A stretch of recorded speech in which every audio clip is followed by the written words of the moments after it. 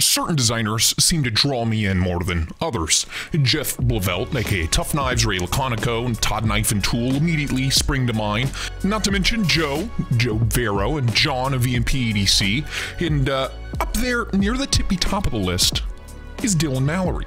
He's not exactly the new kid on the block, but at the same time, he hasn't exactly been around for ages either.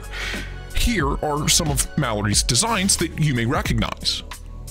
And this this is one of his latest, the Hadros, a wallet-friendly warnie made by the fine folks at Civivi. This thing, visually speaking, checks a whole lot of boxes for me. First off, let's get it out of the way. That warnie, I mean, come on. That is just a textbook warnie, and I am all about it.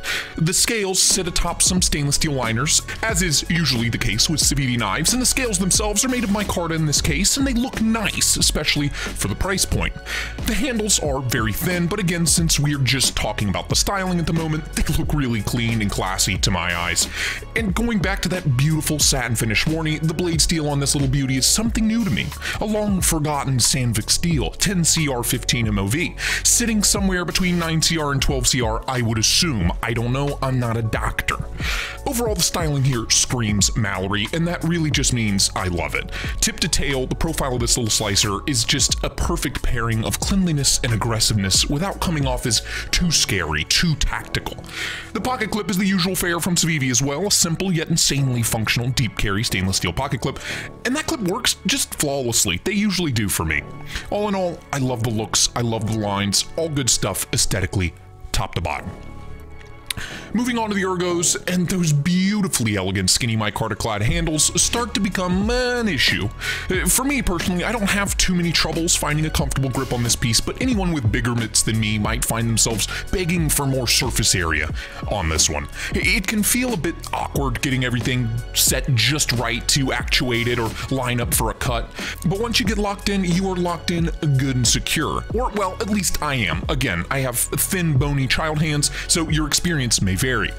So as much as I love the, the kind of sleek and slim appearance, I think the knife could be improved with just a little bit more meat and girth on those handles.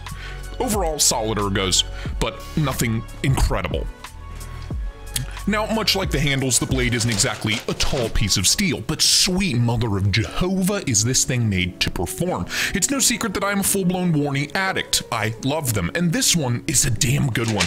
The blade steel is new to me, like I said, 10CR15 MOV, and so far, over the past month or so, I have been thoroughly impressed by the performance of this blade steel, and I really hope to see more of it in the future. And the only thing better than a good warnie is one with a really tasty hollow grind, and in this case, that hollow grind gives us an insanely thin and uber slicey final cutting edge. I just, I can't stop and I won't stop destroying cardboard boxes and eating up junk mail with this thing. A blade that is meant to do one thing and one thing exceptionally well. Cut. A plus on the blade. And finally, the action. Well, this is a Civivi, so the blade is running on cage bearings, and they're good and smooth for the most part. The thumb studs are easy to get a hold of from either side of the knife, and the detent is nice and dialed in for some seriously snappy thumb flicks and reverse flicks. And when you go to close it, even though the liner lock is a little aggressive as far as jumping goes and access isn't the best, once you kick it out of the way, those bearings bring that thin, light, and slicey little warnie home with some impressive grace and elegance. Not a guillotine, not super drop shutty, but nice and smooth, nice and controlled. Overall, start to finish, the action here is just dynamite, and I'm a big fan overall. So where does all of this leave me with the Civivi Hadros designed by Dylan Mallery in micarta and 10CR15 MOV? Well, for under $60, there is a lot to love a lot to love. We get that price point, pair that with the stunningly good looks and overall warnilicious aesthetics, and with the excitement of a new and fresh and exciting steel with the 10CR, I see an insane amount of value and a whole hell of a lot to love. Build quality and overall fit and finish are seriously impressive, which is nothing new coming from Civivi, and overall, top to bottom, I'm just a big fan of this piece. Dylan Mallery, it seems, can still do no wrong.